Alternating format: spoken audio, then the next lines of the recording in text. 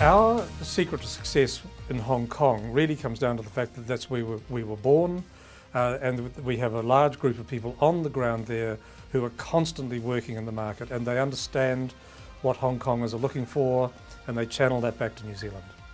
Perhaps the key point of difference for New Zealand Focus compared to other small New Zealand exporters is that we have a large number of people on the ground in both Hong Kong and China.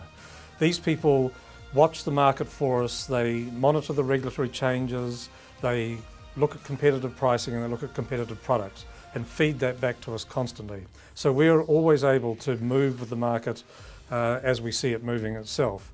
We also employ many different channels in the market so that if one channel, say, is running hot, then we will put more effort into that and then as another channel emerges, we will move to that.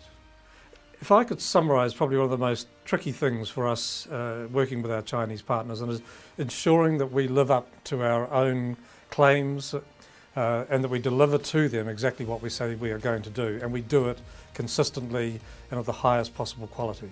That for us, I think, is the secret of good partnerships with China.